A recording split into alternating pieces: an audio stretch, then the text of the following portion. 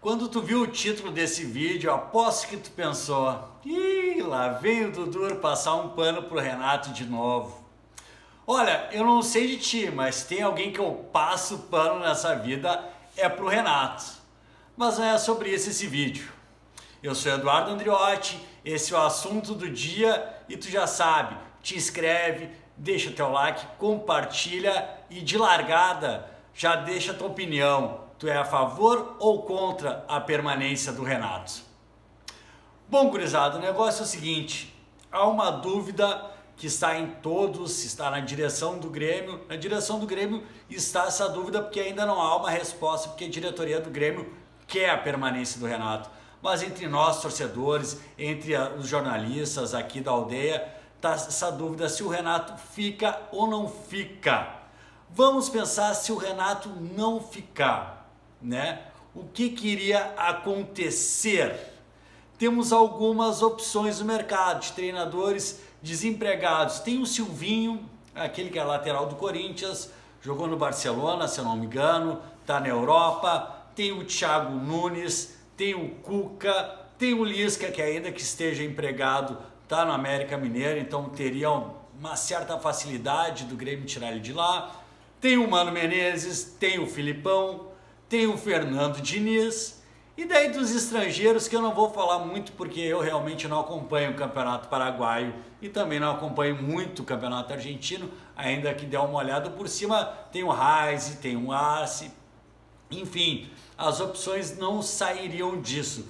A primeira coisa que a gente tem que pensar é que caso o Renato saia, o Grêmio teria que trazer um treinador com as características parecidas com a do Renato, né? Ou seja, se tem um estilo de jogo como o Grêmio de propor o jogo, de toque de bola, tu não pode trazer um Mano Menezes, um Filipão, que quebraria muito o estilo de jogo, seria uma filosofia totalmente diferente e demoraria muito a se encaixar. Então a gente teria que trazer um treinador estilo o querido Thiago Nunes. Eu acho que é mais ou menos por aí a opção. Thiago Nunes foi para o Corinthians e não teve um bom desempenho.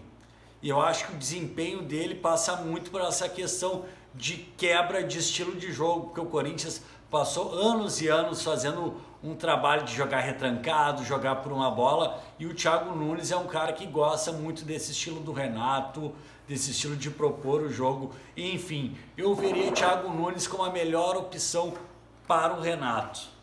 Mas eu não quero a saída do Renato. E eu te explico por quê. Eu acho que essa temporada desse ano foi a pior do Renato disparada. Acho que o Renato errou demais, teve uma teimosia com alguns jogadores, não avaliou bem o elenco, que faltou um volante, está bem claro na quantidade de gols que o Grêmio vem tomando em contra-ataques. O Renato tem um volante no elenco, chama-se Lucas Araújo, que a gente não sabe se é bom ou se é ruim, porque ele simplesmente não teve chances ele tá lá. É bem verdade que o Renato olhou ele no time de transição, ele foi fazer um treino no time de cima, o Renato gostou e puxou ele muito mais para ele já ir se adaptando ao grupo principal do que mesmo para jogar. Mas a gente vê o Renato uh, insistindo em Tassiano, insistindo em outros jogadores que a gente já viu no que, que pode dar.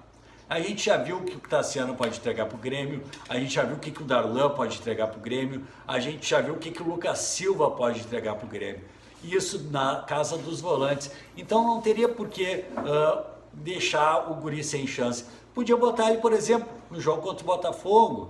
A gente poderia ter colocado o Lucas Araújo, ainda que um pouquinho, né? Por exemplo, quando o Lucas Silva entrou, a gente já sabe que o Lucas Silva pode dar. O jogo estava, sei lá, eu 3 a 0 para o Grêmio jogo morto, Botafogo rebaixado. Por que não botar o Lucas Araújo para ver como o Guri ia desempenhar, para ver como que o time ia ficar com um volante ali protegendo já a zaga, porque a gente viu no grande defeito do time do Grêmio, uma zaga sem proteção. Tem uma zaga pesada, que nem foi aquele jogo contra o Botafogo de segunda-feira, com Paulo Miranda e David Braz, e tu joga sem volante. No primeiro contra-ataque encaixou, gol dos caras, porque tu vai botar o David Braz a largar na corrida com o atacante, não vai ter condições. Aí até tu acabou expondo demais o David Braz. David Braz, por exemplo. O Renato, ao invés de botar o David Braz, por que, que não botou o Juan para jogar? Por que, que ele botou o Paulo Miranda? A gente já viu o David Braz, a gente já viu o Paulo Miranda, a gente sabe o que, que eles podem jogar, o que, que eles não podem jogar. Podia ter colocado o Juan, podia dar uma testada no guri, dar uma rodagem no guri. Então eu acho que o Renato errou muito esse ano, muito mesmo. Eu acho que o Renato uh, tem uma das suas melhores características desde que chegou no Grêmio, é a questão de tirar muito mais do grupo do que o grupo permite. O que o Renato faz em 2016, 17 e 18, eu acho que o Renato fez muita coisa e muita coisa boa mesmo. Por exemplo, 2018 a gente perde com a Libertadores naquele jogo do River, um assalto. E mesmo que não fosse um assalto, pô, a gente perdeu o jogo nos 45 do tempo. Então o Grêmio estava se encaminhando para mais um título da Libertadores. Então o trabalho vinha sendo bem feito. A temporada de 2019, bem ou mal, a gente foi até uma semifinal de Libertadores. Não é pouca coisa. O futebol brasileiro é muito difícil ter um time que embale muitos títulos na, na sequência. Uh, a gente está vendo o Flamengo aí que teve um super time no ano passado e esse ano aí, se Deus quiser, vai conseguir ser campeão brasileiro mas está se perdendo na curva, porque é muito difícil te manter no topo, tu ser campeão todo ano no Campeonato Brasileiro, no futebol brasileiro, né? A gente pega aí o, treinador do Grêmio com maior sequência de títulos grandes, foi o Filipão, ganhou 94 a Copa do Brasil, 95 a Libertadores, 96 o Brasileiro. Então, de toda uma história, a gente tem um treinador, ou toda uma história recente, a gente tem um treinador que conseguiu três títulos seguidos grandes. O Renato conseguiu dois. É claro que a gente sempre quer ser campeão, só que a gente não vai ser campeão todo ano. Não vai ganhar um título grande todo ano. O Grêmio tem que estar sempre entre os primeiros, que daqui a pouco vai ser campeão.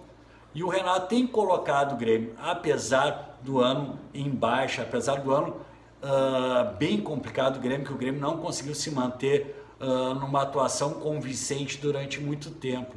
Renato não foi bem esse ano, mas ainda acho ele a melhor opção do que tem aí, porque eu não vejo um grande treinador para chegar no Grêmio e fazer o time jogar e conseguir grandes títulos.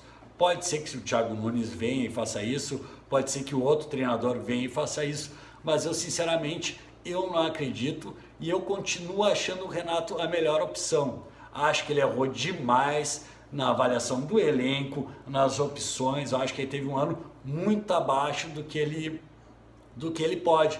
Mas a gente vê aí o técnico do Tigres, por exemplo, que está lá, sei lá eu quantos anos e quantas temporadas boas ele teve.